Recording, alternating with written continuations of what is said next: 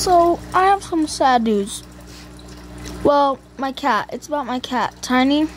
We've recently noticed that she's been acting weird. So, we took her to the vet and we found out her kidneys are failing. So, yeah. At the time of recording, uh, tomorrow we are going to put her down. It's sad. She was a really good cat. Her name is Tiny, and she is brain damaged. She was born like that. So, yeah, I thought I just would tell you guys. So here, I'll show you some baby pictures and a picture of her from a few days ago, I'm pretty sure. The ones on the sides are her as a baby, and the one in the middle is her um, from a few days ago. And this is her currently. She has like blood coming out of her mouth. It's it's really sad. So yeah, I just wanted to make this before you know we put her down. So anyway, yeah.